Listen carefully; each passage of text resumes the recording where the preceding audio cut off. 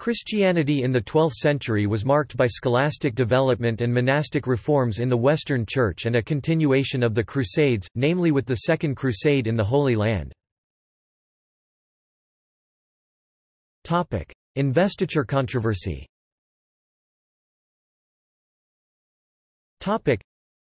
the English dispute was resolved by the Concordat of London, 1107, where the king renounced his claim to invest bishops but continued to require an oath of fealty from them upon their election.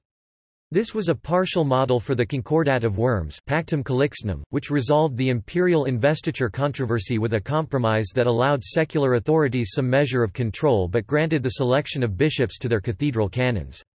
As a symbol of the compromise, lay authorities invested bishops with their secular authority symbolized by the lance, and ecclesiastical authorities invested bishops with their spiritual authority symbolized by the ring and the staff. Medieval Inquisition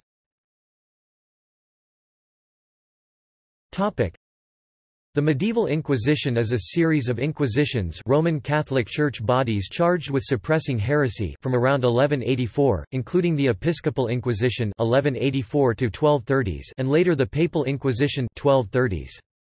It was in response to movements within Europe considered apostate or heretical to Western Catholicism, in particular the Cathars and the Waldensians in southern France and northern Italy. These were the first Inquisition movements of many that would follow. The Inquisitions in combination with the Albigensian Crusade were fairly successful in ending heresy. 12th-century France witnessed the widespread growth of Catharism, a dualistic belief in extreme asceticism which taught that all matter was evil, accepted suicide and denied the value of church sacraments. Rise of universities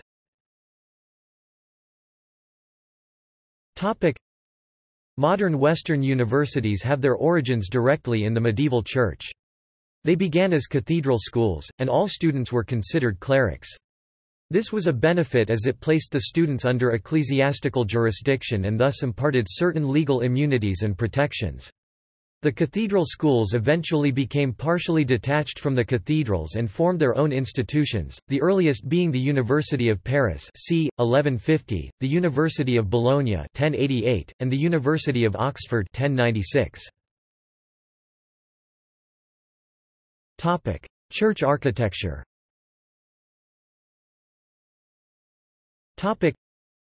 Two new orders of architecture emerged from the church of this era.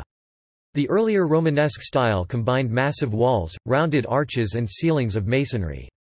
To compensate for the absence of large windows, interiors were brightly painted with scenes from the Bible and the lives of the saints.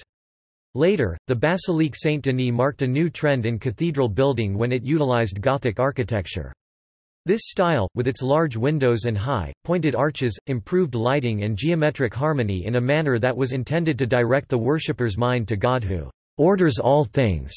Eight new monastic orders were founded in the 12th century, many of them functioning as military knights of the Crusades. Cistercian monk Bernard of Clairvaux exerted great influence over the new orders and produced reforms to ensure purity of purpose.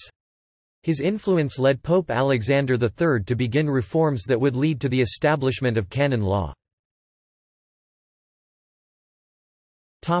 Early scholasticism and its contemporaries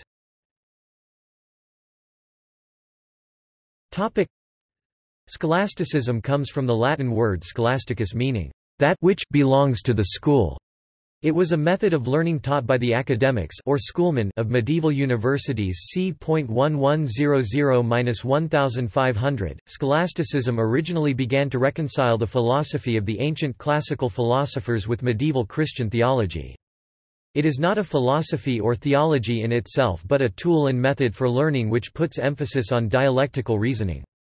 The primary purpose of scholasticism was to find the answer to a question or resolve a contradiction. It is most well known in its application in medieval theology but was eventually applied to classical philosophy and many other fields of study. Anselm of Canterbury is sometimes called the father of scholasticism because of the prominent place that reason has in his theology, instead of establishing his points by appeal to authority, he presents arguments to demonstrate why it is that the things he believes on authority must be so. His particular approach, however, was not very influential in his time, and he kept his distance from the cathedral schools. Instead, scholasticism likely was fostered by the production of the gloss on scripture associated with Anselm of Laon, the rise to prominence of dialectic middle subject of the medieval trivium in the work of Abelard, and the production by Peter Lombard of a collection of sentences or opinions of the Church Fathers and other authorities. Scholasticism proper can be thought of as the kind of theology that emerges when, in the cathedral schools and their successors, the tools of dialectic are pressed into use to comment upon, explain, and develop the gloss and the sentences. Notable authors include Anselm of Canterbury Anselm of Laon Hugh of St. Victor Peter Abelard Bernard of Clairvaux Hildegard of Bingen Peter Lombard Joachim of Fiore Topic. Monasticism Topic. The next wave of monastic reform came with the Cistercian movement. The first Cistercian abbey was founded by Robert of Molesme in 1098, at Citeaux Abbey. The keynote of Cistercian life was a return to a literal observance of the rule of Saint Benedict. Rejecting the developments that the Benedictines had undergone, they tried to reproduce the life exactly as it had been in Saint Benedict's time, indeed in various points they went beyond it in austerity. The most striking feature in the reform was the return to manual labor, and especially to field work, which became a special characteristic of Cistercian life. Inspired by Saint Bernard of Clairvaux, the Cistercians became the main force of technological diffusion in medieval Europe. By the end of the 12th century the Cistercian houses numbered 500, in the 13th a hundred more were added, and at its height in the 15th century, the order claimed to have close to 750 houses. Most of these were built in wilderness areas and played a major part in bringing such isolated parts of Europe into economic cultivation. In the Middle Ages, monasteries conserved and copied ancient manuscripts in their scriptoria, their pharmacies stored and studied medicaments and they aided the development of agricultural techniques. The requirement of wine for the Mass led to the development of wine culture, as shown in the discovery of the méthode champenoise by Dom Perignon. Several liquors like Benedictine and the Trappist beers were also developed in monasteries. The consequence of this centralization of knowledge was that they initially controlled both public administration and education, where the trivium led through the quadrivium to theology. Christian monks cultivated the arts as a way of praising God. Gregorian chant and miniatures are examples of the practical application of quadrivium subjects. However, the dialectical dispute between Peter Abelard and William of Champeaux in the early 12th century over the methods of philosophic ontology led to a schism between the Catholic Orthodox of the School of Notre Dame in Paris and the student body, leading to the establishment of free schools and the concept of an autonomous university, soon copied elsewhere in Europe, and this eventually led to the Reformation which dismounted the primacy of the monasteries. The status of monks as apart from secular life at least theoretically also served a social function. Dethroned Visigothic kings were tonsured and sent to a monastery so that they could not claim the crown back. Monasteries became a place for second sons to live in celibacy so that the family inheritance went to the first son, in exchange the families donated to the monasteries. Few cities lacked both a St. Giles house for lepers outside the walls and a Magdalen house for prostitutes and other women of notoriety within the walls, and some orders were favored by monarchs and rich families to keep and educate their maiden daughters before arranged marriage. Crusades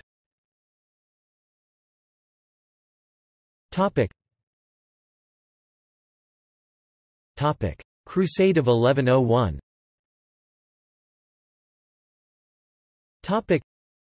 There was a less successful wave of crusaders, in which Turks led by Kilij Arslan soundly defeated the crusaders in three separate battles in a well-managed response to the First Crusade. This is known as the Crusade of 1101 and may be considered an adjunct of the First Crusade. Second Crusade 1147–1149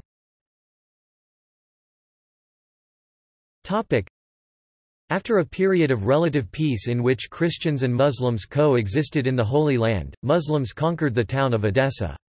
A new crusade was called for by various preachers, most notably by Bernard of Clairvaux. French and South German armies, under the kings Louis VII and Conrad III respectively, marched to Jerusalem in 1147 but failed to win any major victories, launching a failed pre-emptive siege of Damascus, an independent city that would soon fall into the hands of Nur ad-Din Zangi, the main enemy of the Crusaders.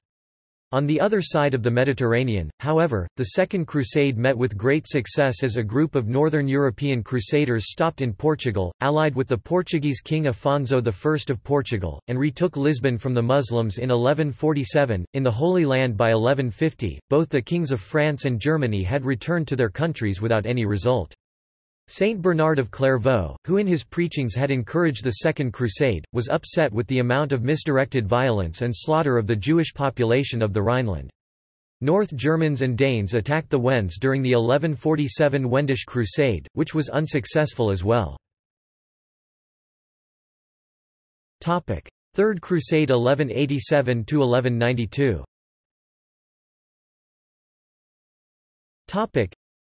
in 1187 Saladin, Sultan of Egypt, recaptured Jerusalem, following the Battle of Hattin. After taking Jerusalem back from the Christians, the Muslims spared civilians and for the most part left churches and shrines untouched to be able to collect ransom money from the Franks. Saladin is remembered respectfully in both European and Islamic sources as a man who always stuck to his promise and was loyal. The reports of Saladin's victories shocked Europe. Pope Gregory VIII called for a crusade, which was led by several of Europe's most important leaders, Philip II of France, Richard I of England Richard the Lionheart, and Frederick I, Holy Roman Emperor. Frederick drowned in Cilicia in 1190, leaving an unstable alliance between the English and the French. Before his arrival in the Holy Land, Richard captured the island of Cyprus from the Byzantines in 1191. Cyprus served as a crusader base for many centuries and remained in Western European hands until the Ottoman Empire conquered the island from Venice in 1571. After reaching port, Richard the Lionheart promised to leave noncombatants unharmed if the city of Acre surrendered and Saladin returned his Christian prisoners, as well as the true cross and a ransom. However, Saladin, preferring to delay Richard in Acre, refused to honor the surrender agreement of the city's garrison. Therefore, Richard executed Acre. S former defenders. From the Frankish point of view, an oath made to a non-Christian was no oath at all. Philip left in 1191, after the Crusaders had recaptured Acre from the Muslims. The Crusader army headed south along the coast of the Mediterranean Sea. They defeated the Muslims near Arsuf, recaptured the port city of Jaffa, and were in sight of Jerusalem. However, Richard did not believe he would be able to hold Jerusalem once it was captured, as the majority of Crusaders would then return to Europe, and the crusade ended without the taking of Jerusalem. Richard left the following year after negotiating a treaty with Saladin. The treaty allowed unarmed Christian pilgrims to make pilgrimages to the Holy Land Jerusalem, while it remained under Muslim control, as well as ensured the survival of a new Crusader kingdom based around Acre and other Levantine port cities. On Richard's way home, his ship was wrecked, and he ended up in Austria, where his enemy Duke Leopold captured him. The Duke delivered Richard to Emperor Henry VI, who held the king for ransom. By 1197, Henry felt ready for a crusade, but he died in the same year of malaria. Richard I died during fighting in Europe and never returned to the Holy Land. The Third Crusade is sometimes referred to as the King's Crusade. Northern Crusades The Northern Crusades or Baltic Crusades were crusades undertaken by the Catholic kings of Denmark and Sweden, the German Livonian and Teutonic military orders, and their allies against the pagan peoples of Northern Europe around the southern and eastern shores of the Baltic Sea. Swedish and German campaigns against Russian Eastern Orthodox Christians are also sometimes considered part of the Northern Crusades. Some of these wars were called Crusades during the Middle Ages, but others, including most of the Swedish ones, were first dubbed Crusades by 19th-century Romantic nationalist historians. Contemporaneous with the Second Crusade, Saxons and Danes fought against Polabian Slavs in the 1147 Wendish Crusade. In the 13th century, the Teutonic Knights led Germans, Poles, and Pomeranians against the Old Prussians during the Prussian Crusade. Norwegian Crusade 1107–1110 Sigurd I of Norway was the first European king who went on a crusade, and his crusader armies defeated Muslims in Spain, the Baleares, and in Palestine where they joined the King of Jerusalem in the Siege of Sidon. Swedish Crusades The Swedish conquest of Finland in the Middle Ages has traditionally been divided into three «crusades» The First Swedish Crusade around 1155, the Second Swedish Crusade about 1249 and the Third Swedish Crusade in 1293. The First Swedish Crusade is purely legendary and according to most historians today never took place as described in the legend and did not result in any ties between Finland and Sweden. For the most part, it was made up in the late 13th century to date the Swedish rule in Finland further back in time. No historical record has also survived describing the second one, but it probably did take place and ended up in the concrete conquest of southwestern Finland. Timeline. Topic. Topic. See also. Topic. Topic References Topic Topic Further reading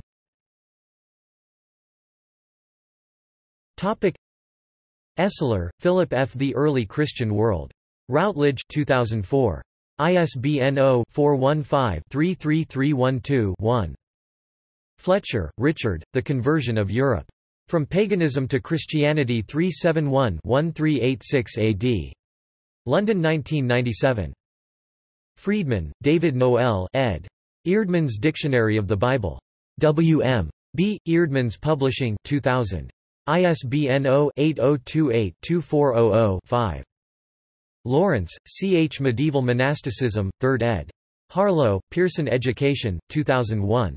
ISBN 0-582-40427-4. Padberg, Lutz v. 1998, Die Christianisierung Europas im Mittelalter, Stuttgart, Reclam German. Pelikan, Jaroslav Jan. The Christian Tradition, The Emergence of the Catholic Tradition 100 600. University of Chicago Press 1975. ISBN 0-226-65371-4. Vésteinsson, Orri, 2000. The Christianization of Iceland, Priests, Power, and Social Change 1000–1300 Oxford, Oxford University Press ISBN 0-19-820799-9 White, L. Michael. From Jesus to Christianity. HarperCollins 2004. ISBN 0-06-052655-6. Topic: External links. Topic: Schaff's The Seven Ecumenical Councils